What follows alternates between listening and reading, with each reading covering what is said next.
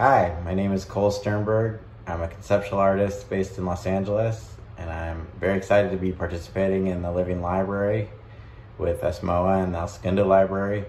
So I'll have the opportunity to talk with some of you about my conceptual work, The Free Republic of California.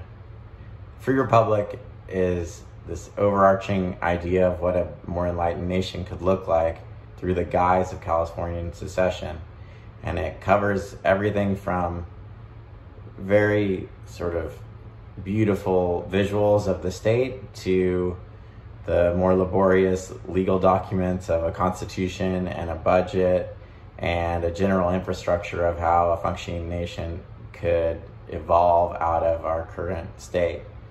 There's also a clothing line, uh, a very in depth website, and a plethora of documents and activation components that really allow it to grow into hopefully a movement that pushes us forward towards a better place. And whether that's uh, just forward a little bit in terms of policy, police reform, gun control, environmental sustainability, or a full redevelopment of a nation.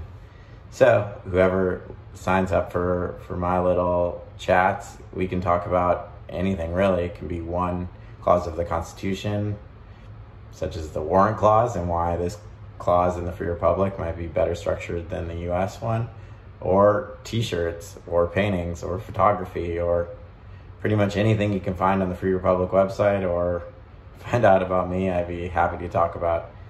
So please sign up and hopefully I'll speak to you soon.